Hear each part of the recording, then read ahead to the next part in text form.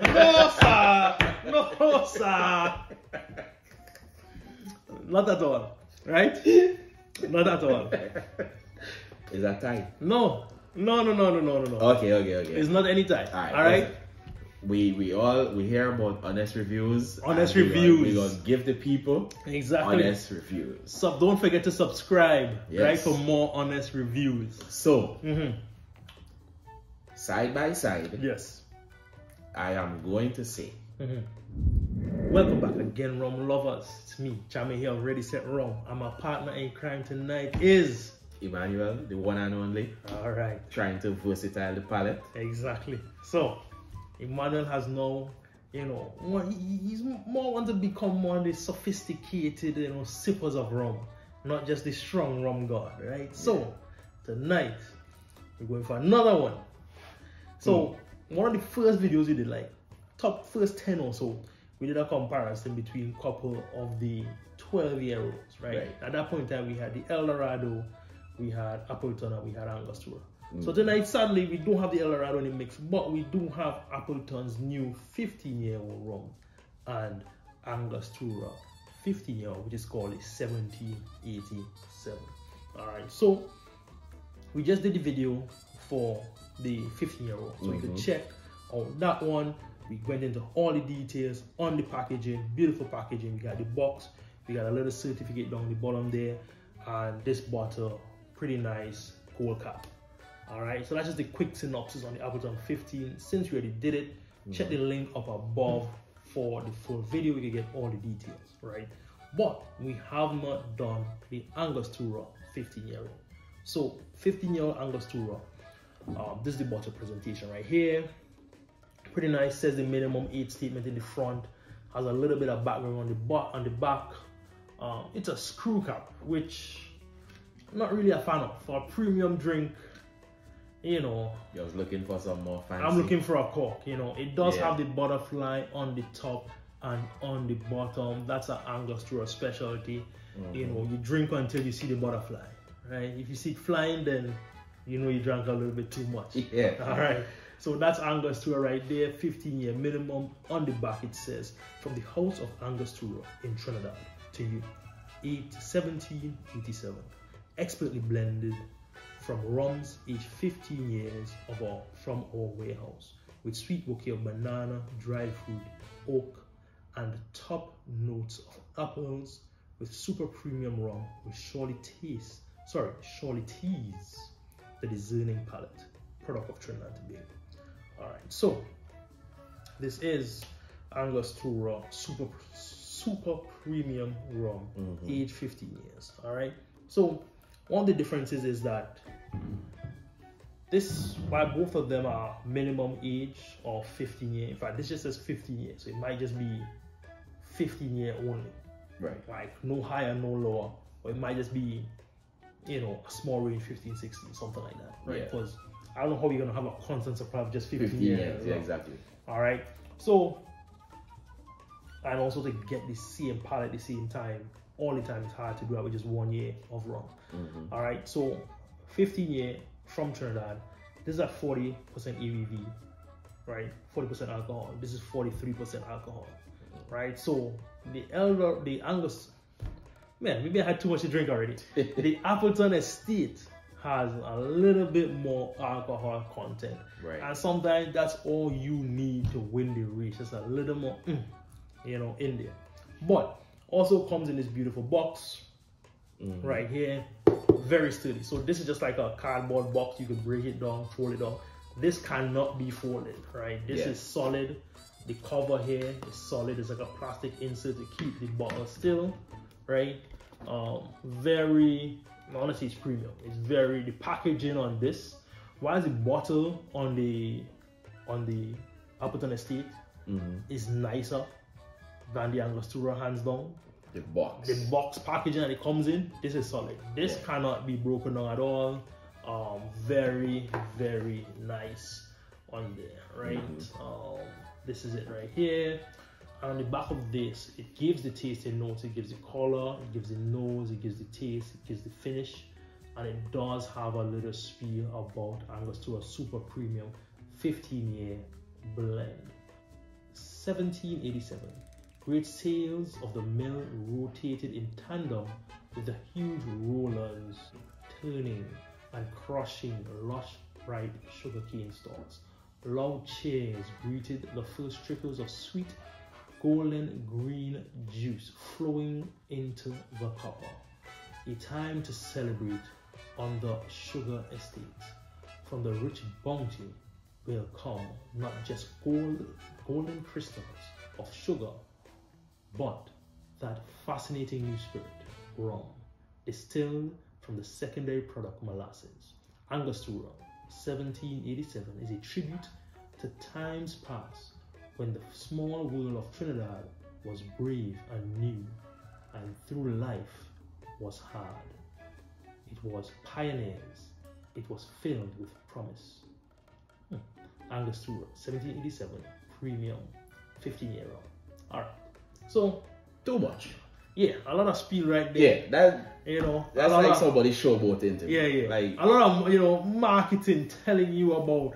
So the reason why it's called 1787 is because the number pays tribute to the first sugar cane mill, and that's what this talking about right here. Right? Mm-hmm. I did my very best to give you a theatri- a, a theatrical reading, right, of the Angostura 1787. yeah. Uh, I would uh like you know something? Uh-huh.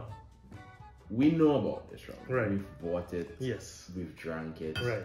You know, I've never Read the paid back of the box. Never read the back. you know what these people put in the effort right You know. and for those who have not bought it as yet i am just trying to you know let you all know Exactly. what it is so um pricing we get the pricing on the end because you know i want to get to the tasting Yeah. and get a taste comparison before i do a price comparison right So I consider this Mhm. like these two rums. Mhm.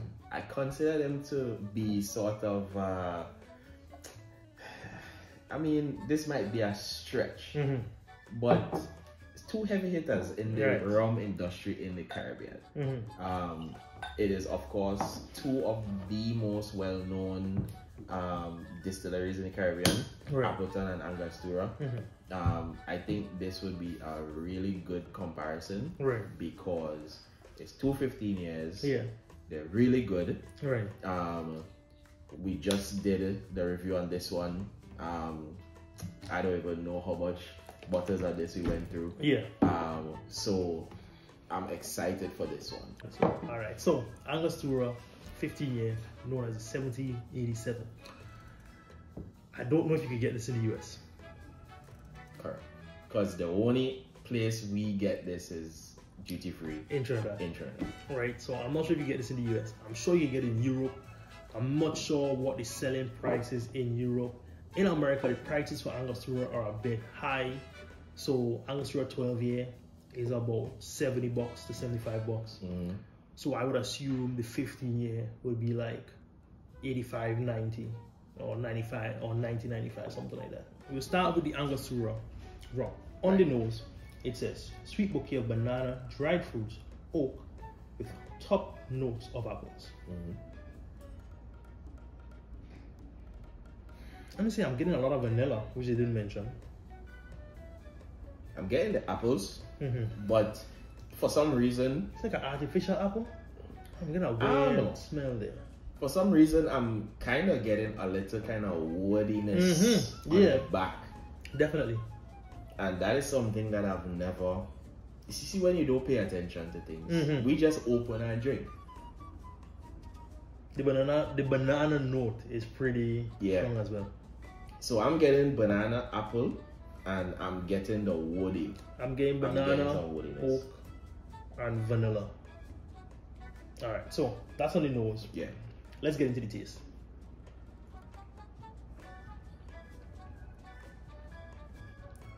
Tasting what I'm smelling. Sweet, molasses, vanilla, bitter toffee note on the end. Toffee or coffee note on the mm. end. What do you get? I'm getting the hint of the woodiness in it. Mhm. Um, A little warming on the chest afterwards. yeah. I'm getting the um like uh the coffeeness in the back. Mm-hmm. I am getting that. So even though I'm doing the same rum, I like clear my palate. Also, I feel like when I clear my palate, I get more notes Yeah, on the second yeah. one. So I know. I just got a kind of weird, kind of something in between. mm, So I'm I'm not. getting a, a bit of a tannic, sweet, Yeah, wood kind of thing. like it's not. It's not distinct to me. it honestly, I feel like it's distinctly Angostura, Mm. but it's not. I'm not sure what that note is. hmm You know. So on their tasting, it says balanced medium palate, hints of dried prunes, sweet round oak notes, and ent- entwined with toffee nuances. So Maybe it's a dried prunes because I don't really know what dried prunes kind of taste like what like. you mean? You drink dried prunes all the time, man. like at least I've eaten a lot of dried prunes back in the day, but the the toffee. I think that toffee nuance is more like that that bitterness that we're getting on the back end. Yeah. Um, definitely, we, we talked about the oak and the dried prunes. I'm not sure if it's dried prunes I was getting. Like I felt like I was getting something else. I was getting more vanilla and some. Maybe that was the sweetness I was getting from the prunes. Yeah. Try again.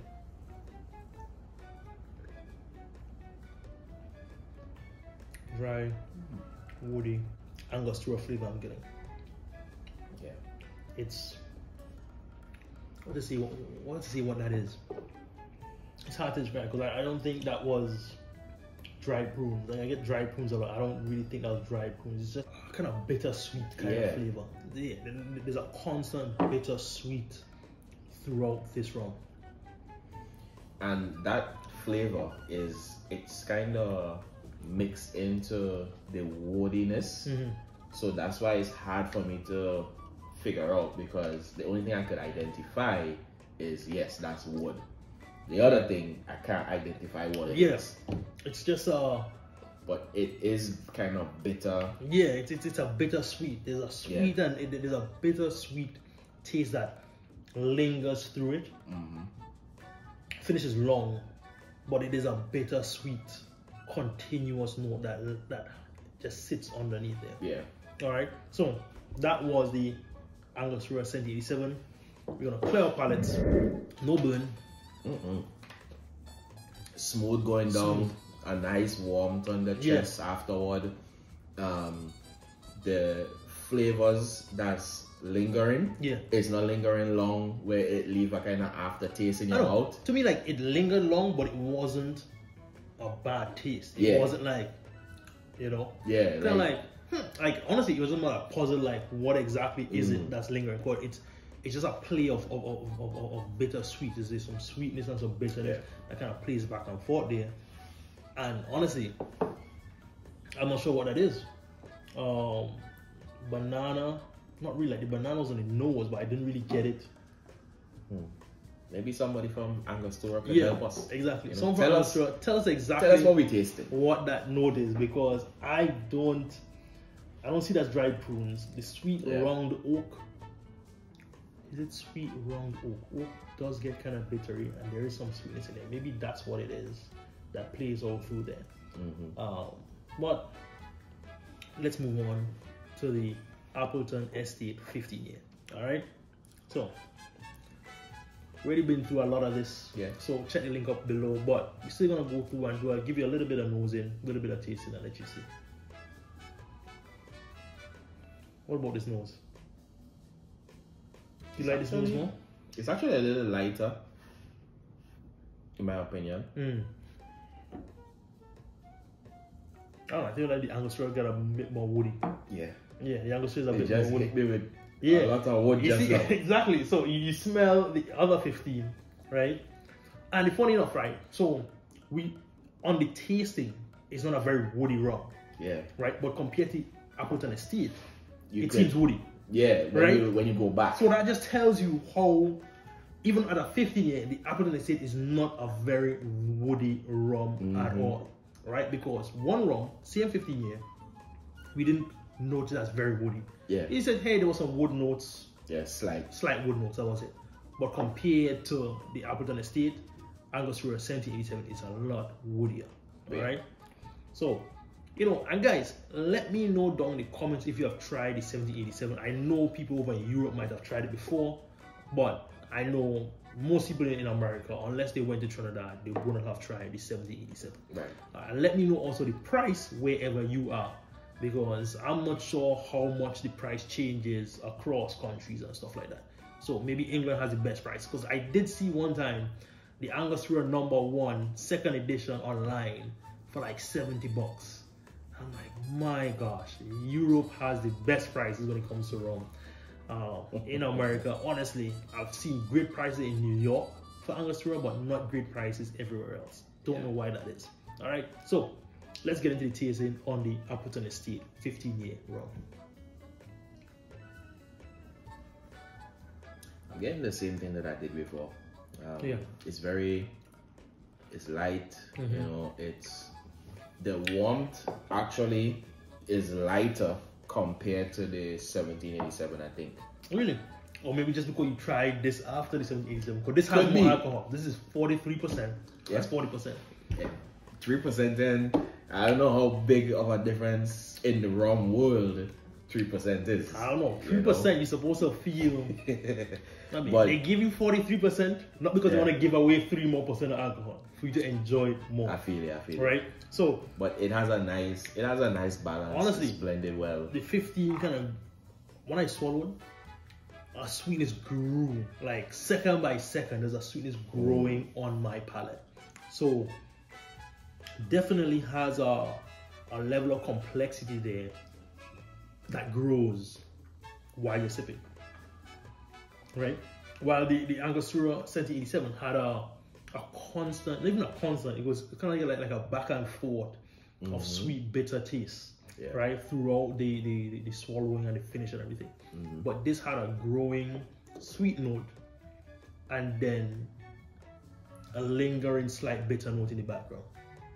So definitely, that. I, don't know. I, I, I, I'm thinking just on, on on that part, I'm enjoying it more, right? Yeah. It's funny because you know, I'm trying I'm trying to stay very unbiased Mhm. because I have vocally stated Mhm. that I think the 1787 is the best 15 year rum out there. Mhm. Or at least if if there was top two, Right. it's in top two, Right. you know? Mhm. and uh, I'm tasting the Appleton now, Mhm. and I'm like, hmm, I wonder if opinions are shifting Mm. Mm. So because I really personally, I really, really like the 1787. It is, Right.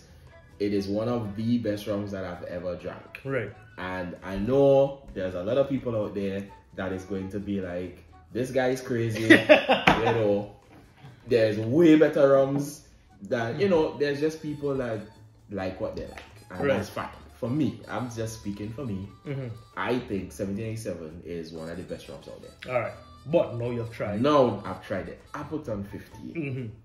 Opinions might be shifted. It might be shifted or shifted. Might be The shifted. people want to know. might be shifted. All right. So I ain't, I ain't gonna reveal that just yet. But this is interesting in uh, the difference between the flavors. to me, it's more complex. I'm getting a honestly, I'm getting a, when I swallow, getting a quick saltiness to a sweetness that grows. When the sweetness ends, then there's a bitter note underneath, right? Um, there's more complexity here. Yeah, There's more complexity on the Appleton 15. I agree. So, all right, now, now that I've said that, I want to go back, right? Because I tried the 1787 and I tried the Appleton. You wanna go back to the 1787? Mm-hmm. Because one thing that happens sometimes is that one rum affects the other one, Mm, and I really want to make sure that I see the, what you're trying. what if the Angostura affected the Appleton positively, right? In trying the Angostura first, Right. because the, the Appleton somehow is a bit sweeter, which I didn't think. I, I thought that, well, I'm pretty sure, I know Appleton does not add sugar. Angostura sometimes add sugar. So I wasn't sure whether sugar was added to this 15 year, right? Mhm. But the fact that the Appleton Estate still, still tasted sweet to me tells me that the 1787 doesn't have any sugar because if you had a sweet rum, right, then you have a no sugar added rum. Right. The no sugar added rum gets a better finish, right? Like because that, that, that sugar, the sweetness, the, the, the, the, the extra sugar on your palate, it basically blocks those those taste buds on your tongue, right? And doesn't allow you to taste any more sweetness, right? So that's like you eating a candy and then you having a, a, a, a soda, you know. When you have the soda, the soda doesn't taste as sweet because all your The candy flavor, the candy flavor is Yeah. covering your, your palate. So, funny enough, 1787 to Appleton, Appleton still tastes sweet. So that tells me 1787 has no sugar, right? But now, from the 17 from the Appleton, Back go to back the 1787, Yeah. the Angostura. Gonna see what exactly is the flavor profile there. I'm smelling this, and what I'm smelling is wood, man. There- There is this, you know, it's not just wood. It's I'm getting wood, but there is a The the woody scent is more prominent. It's like a apple vanilla nose that I'm getting, but it's not sweet apples. It's like so it's just apple flavor, no sugar. Yeah. You know. All right, let me get into the tasting.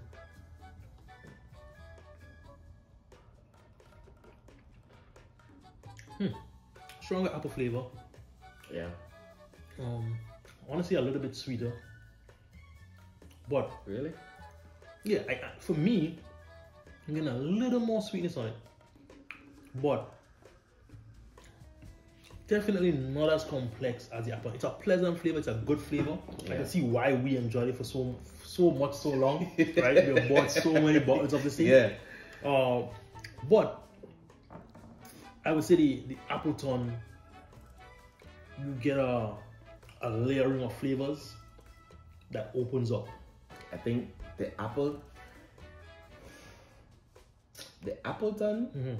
did a better job Mhm. at allowing more flavors to be present when you Right. tasted it. The the 1787 kind of just it stayed true to what you would expect from an aged rum. Mhm. Like you get that you you get the woody taste Yeah. and what they describe on their packaging as to what other flavors you would get, Right. you get in that. Mhm. I'm not really getting the banana stuff. Mhm. I'm not really getting the dried fruit. Mhm. But if they say it's there, fine. So funny enough, I get dried fruit on a lot of other rums. This is not one of them. So there is a flavor there. It's a very unique flavor. Yeah. It's very unique. Honestly, like you see my bar, I have a ton of rums. I I just I drink rums a lot, right? I drink a Mm. lot of rums, and the flavor there is unique. Can't figure it out. It is not.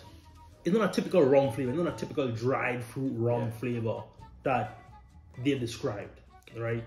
Um, I just drank the Eldorado, the 15, the, the 12, sorry, the 12, the old and the new, and they both had dried fruit flavors, right? And different dried fruit flavors, but we picked them up. This one didn't get any prunes. That they, what they're talking about. Didn't really get any dried fruit they're talking Yeah. about. Um, but it's a unique. Honestly, it's almost like a a whiskey-ish flavor on it. Hmm. There's a, and maybe that's the barrels that they use. I wonder if they said what barrels they used on this. So in all their writings, they did not say what, What barrels was used to agent. So honestly, It's a secret, man. it could be that they use like whiskey barrels. Mm-hmm. Because I'm getting, honestly, I'm thinking about it now. It's kind of like a whiskey finish, right? So that's what you get on the Angostura 7087. You get that long, lingering whiskey finish. That's Yeah. what it is. And on the Appleton, you get, you don't get that. The finish from the barrel isn't prominent Yeah. what you get is the flavors of sweet or slight salt in the beginning, finish with some bitterness finish with some. You get some fruit in there. No, this you actually get some fruit. Mm. Go back And- to it again. and that's why I was saying like they they're doing a good job with if if they tell you on the packaging this is what you're gonna taste, you taste it and you could be in agreement. Not Right. not all rums can do that. Right. Because we've reviewed a lot of rums. Right. And uh, there's a lot of rums that they say, oh, there's hints of this and hints of that, and, And you it's get it. blended like this and meticulous. They they articulate it so well, Right. And it's like nothing, Right. and all you taste is nothing.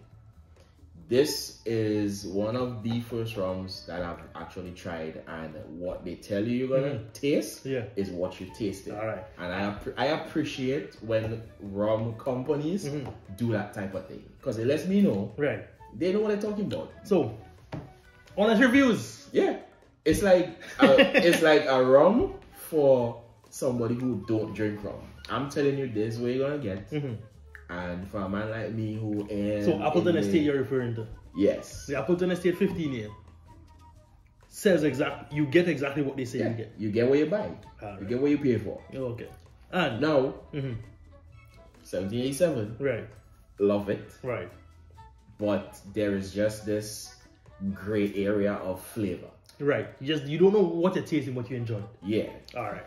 So, for me, I must say, the Appleton takes this one. I know Emmanuel is, is, is struggling not to say it. Right? Emmanuel is struggling not to ah. say the honest truth. But Appleton takes this one. The hmm. 15 year, to me, it's more complex. To me, there's a ascending of flavors. There- There's, there's flavor growth throughout the sip, right? That I'm enjoying. right. I'm enjoying it more than the 15 year. Mind you, I'm drunken a lot of 15 year of the Yeah. the, the, 1787. 1787, Yeah. right? And enjoyed it. However, Appleton reigns supreme at the 15 year mark. All right. You know, it, it, it's hard for him to swallow, right? All right. Just so the most Mm. this this is going to be Mhm. the most controversial statement Mm. that I have ever made Mhm, on Ready Set Rum. mhm. It's a tie. No, sir. No, sir. No, sir. Not at all. Right? Not at all. It's a tie. No. No, no, no, no, no, no. Okay, okay, okay. It's not any time. All right. All right? We we all we hear about honest reviews. Honest and we gonna- reviews. We gonna give the people Exactly. honest reviews. Sub, don't forget to subscribe, Yes. right, for more honest reviews. So hmm side by side, Yes. I am going to say hmm based on everything that we talked about and everything that we drink Right. side by side, Mhm. Appleton Mhm. is inching in front of the 1787. Mhm. Appleton, you win. All right. You take this. Honest Right? review. Fi- com- compared to Mhm. each other, Right. Appleton, you win. Correct. That does not mean hmm that 1787 is not a good rum. Correct. It is a very good rum. Right. But Smooth. we gotta give the people the honest Right. review. It's smooth. It's woody. It gives me a whiskey finish. Like, I was Yeah. struggling really long to figure out what that was, but it's definitely whiskey. It is. Oh, what do you call it? bourbon? Sorry, bourbon barrels. They use a lot of bourbon barrels, and I think it has imparted itself so much into the drink Mhm. that that is the finish that you get, and it lingers throughout the experience Right. right? And the thing about it is, the esters in a rum, the kind of rum you make, the kind of chemical components you make, really absorbs the flavor of the rum, of the of the barrel, a lot more, right? And Appleton was able to keep this in there for 15 years, and somehow not allow it Not allow the flavors of the of the previous cask to get into to get into Yeah. the rum. Like we barely tasted wood. Mhm. right? Which usually means they use spent barrels, like Yeah. spent barrels, like barrels that have been used multiple times to No, it's ensure. there, but it's not. It's there, but it's not there like this. Yeah, yeah, like this is way more woody. Yeah. It's way more of that whiskey or bourbonish finish, like, and typically you use American bourbon casks because bourbon Mm-hmm. is once is virgin and then they sell off their casks, right? So they sold off their casks to Angostura. Angostura kept it in there for 15 years, and apparently it got a lot more of that bourbon Mm-hmm. finish. But it's not super woody. It's just woody compared to The Appleton. Appleton Estate. Exactly. right? There's a ton of woody rums. Like, for example, Foursquare rums to me are more woody than this Angostura 1787. So if you drink Foursquare, this is gonna be zero wood for you, right? And also, if you like bourbons, if you like you know that type of drink, you're gonna get that on the 1787. There's a lot of people who drink bourbons and want to get to a cheaper market Mhm. Angostura 7087 is the one for you. However, can't find it in the US. Never seen it anywhere. I've been to a lot of liquor stores all all over Florida. others. You've been all over New York, all different Yeah. places New looking at York, liquor San stores. Francisco, everywhere. Haven't seen 1787. Only place duty free Trinidad. Right. And duty free Trinidad, it's a deal. However, that's not typically where most people get it. Most people get it. Probably most people in Europe not gonna get it. Mhm. Um, so you you tell me, probably like 80 bucks, 90 bucks, something like that for this one. All right. So 80 bucks, 90 bucks in America, right? Probably. Europe has good, great cheap prices Yeah. right? Appleton is 65 bucks. And honestly, it's more complex. Yeah. Emmanuel didn't want to say it, right? He didn't want to say it. He, he struggled. He was like, man, I want to tell a lie before I tell the truth, Well, right? like I said, you know, Mm. we're all about honest reviews here. Honest and honest, honest reviewers, you know, Appleton just kind of, just kind of knock it out. All They park with this one. Yeah. And you know, when you when you think about it, like you don't taste the wood in this until you taste this. Yeah. So for if if you never drank this like be, immediately before, Yeah. and you just start sipping this, Yeah. you would think, what would these guys talking about? Exactly. Yeah, but definitely. So anyone who drinks whiskey or bourbon who have drink who have drunk the 7087, let me know if I'm on the money with that. Because mm. honestly, it took me a long time to, to, to, to think about it. But then I just drank some. What did I just drink? I just drank some sort of Irish whiskey or something. I was Yeah. like, man, that is what it is. That is what this reminds me of. There's a whiskey finish in there. Um, you know, so definitely enjoyable. Yeah. Uh, Must haves. Yeah. Buy both of them. both of them definitely must have. Just don't drink them together. Yeah, but honestly, drink them together because, like, honestly, I think that we are whiskey guys. Yeah. We aren't whiskey like guys. We aren't bourbon guys. No. So that's why we're not gonna tend to the Angostura before the Mhm. Appleton, Yeah. right? But people who, and honest, funny enough, so Appleton does not give you a traditional rum taste, Mhm. right? Um, traditional rums are honestly more on the lines of Angostura, not the fifth, not this one, but Right. Angostura rums. Also, people would say Foursquare, people would say Mount Gay, Right. you know, those are like traditional rums, right? Like they just have all like even like because and I, I call them traditional rums just because Mount Gay and those rums would be would remind you of other rums in Latin America. So that, that's where the Latin American and the English rum is pretty uh, similar, right? Um, those rums, right? They are traditional. However, Appleton is not traditional. Appleton flavor profile, Appleton taste does not remind you of a Mount Gay. It doesn't remind you of a Yeah, Latin course. American rum Yeah. right? They're very unique. And honestly, the 15 year Angostura, the 1787, is unique Yeah. because it doesn't give you that traditional rum flavor. Mm-hmm. It gives you more of that other category. So, very good rums, very delicious rums. Appleton Estate wins it. Right? We're gonna do El Dorado next. Do you want to do El Dorado versus 1787 or El Dorado versus Appleton Estate? I think both, and then all three, because again, How many videos you gonna do with no, these well, what I'm saying is, Mhm, at some point, mhm. you gotta have all the 315s Yeah. comparing against each other. All right. You know, because you never know. Yeah. You might taste the 15 Yeah, and then go taste this and be like, wait a minute. yeah. You know so, what I mean? sadly, I finished my bottle of 15 year old El Dorado, had my last sip, poured into my infinity bottle. So I didn't have a finished review. So Mm. maybe a couple months from now, Yeah. you know, I'll do it. I'll always have the Appleton 15. I'll always have the Angostura. 1787. Yeah. So definitely another review is coming. Yeah. Good job, Alright. Appleton. Good job. Good job. Good job, And Appleton. you know, Angostura, you're doing it too. Yeah. just on this one. All right. So, ready, set, rum, taking around the world, two rums at a time. Cheers. Cheers.